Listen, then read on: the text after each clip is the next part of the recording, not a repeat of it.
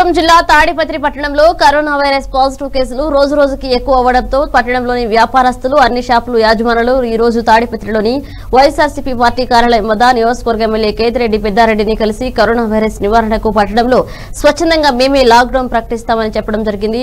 వ్యాపారస్తులు ఈ నిర్ణయంతో ఎమ్మెల్యే పెద్దారెడ్డి వారి నిర్ణయం పట్ల హర్షం వ్యక్తం చేయడం జరిగింది. ఈ లాక్డౌన్ సమయంలో అన్ని షాపులు ఉదయం పది గంటల తర్వాత స్వచ్ఛందంగా మూసివేయడం జరుగుతుందని షాపుల యజమానులు తెలియజేశారు. ఈ లాక్డౌన్ సమయంలో కేవలం మెడికల్ షాపులు హాస్పిటల్స్ మాత్రమే ఓపెన్లో ఉంటాయని అత్యవసర సమయంలో ప్రజలు వాటిని ఉపయోగించుకోవచ్చునని ఎమ్మెల్యే పెద్దారెడ్డి ఈ సందర్భంగా తెలియజేశారు. ఈ రోజు నుండి దాదాపు పద్దెనిమిది రోజుల పాటు అనగా పది ఏడు రెండు వేల ఇరవై తారీఖు వరకు తాడిపత్రిలో లాక్డౌన్ కొనసాగుతుందని ఎమ్మెల్యే పెద్దారెడ్డి తెలియజేశారు. ఇంకా మనకు వంద టెంపరేచర్స్ పెండింగ్ ఉన్నాయి. లాంచ్లో ఏంటంటే రెండు మూడు రోజులు ఒక టెన్ కేసులు వస్తాయి.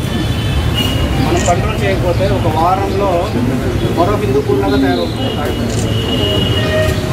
కాబట్టి రిక్వెస్ట్ ఏంటంటే స్వచ్ఛందంగా మీరు లాక్డౌన్ సహకరిస్తారు. స్వచ్ఛందంగా కానీ లాక్డౌన్ కానీ సహకరించినట్లయితే ఒక వారం పది రోజులు ఈ సమస్య నుంచి మనం బయటపడే అవకాశం ఎవరికన్నా పాజిటివ్ ఉన్నా కానీ ఆ పద్నాలుగు రోజుల్లో ఇంట్లో ఉంటారు కాబట్టి కానీ రాకుండా ఆల్రెడీ ఒక వ్యక్తి మరణించారు మన తాడిపత్రుల్లోనే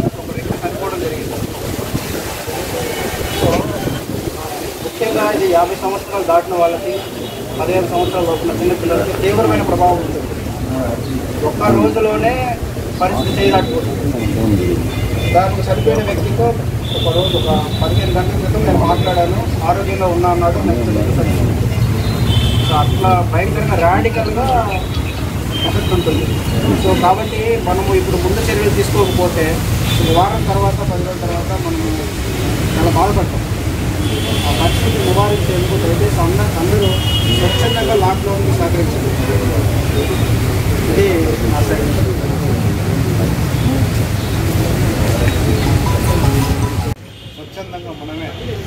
ఏదో ఒక టైం తీసుకొని ఆరు నుంచి పదకొండు ఏడు నుంచి పన్నెండు ఏదో ఒక టైం తీసుకొని లాక్డౌన్ చేస్తే మంచిదని నా అభిప్రాయం. ఏదో గవర్నమెంట్ చెప్తేనే మనం లాక్డౌన్ చేయాలా?